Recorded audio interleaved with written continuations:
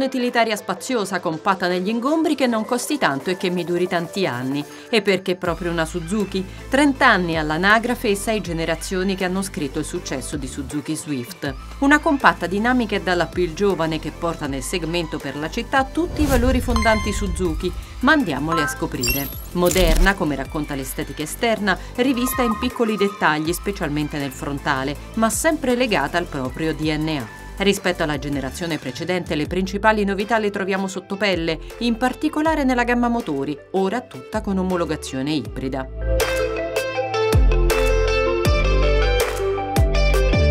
All'interno è spaziosa, numeri meno rilevanti li troviamo nel bagagliaio, leggermente inferiore rispetto alla categoria, ma comunque vivibile anche per lunghe trasferte. Come ogni compatta, offre il suo meglio nell'ambiente cittadino, ma se portata fuori contesto, Swift non fa mai rimpiangere vetture più grandi e costose.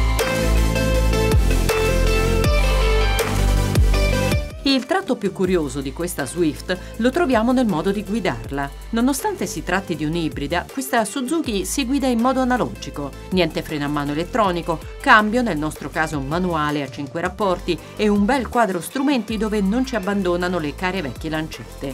Insomma, se siete dei nostalgici, qui troverete pane per i vostri denti. L'altra faccia ancora più bella di questa medaglia è nella dinamica di guida. Visto che ci troviamo a bordo di un appeso piuma con meno di una tonnellata alla bilancia ed un'impostazione abbastanza vicina al terreno, questa Swift trasmette un dinamismo inaspettato.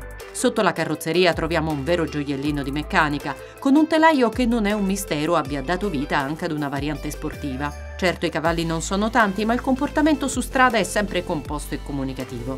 Strozzando un po' il collo al 1200 da 83 cavalli, ci si può divertire giocando con un cambio piacevole, uno sterzo preciso e se avete il manico anche con il freno a mano, per levarsi così qualche spizio ma senza esagerare.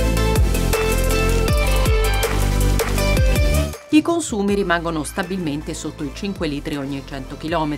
Difficile andare a caccia di aghi in questo piccolo pagliaio giapponese. In fondo, se non volete spendere tanto, ma non volete rinunciare ad una vettura comoda, piacevole da guidare e pacata nei consumi, le alternative non sono molte e Swift è sicuramente una garanzia di qualità senza fronzoli.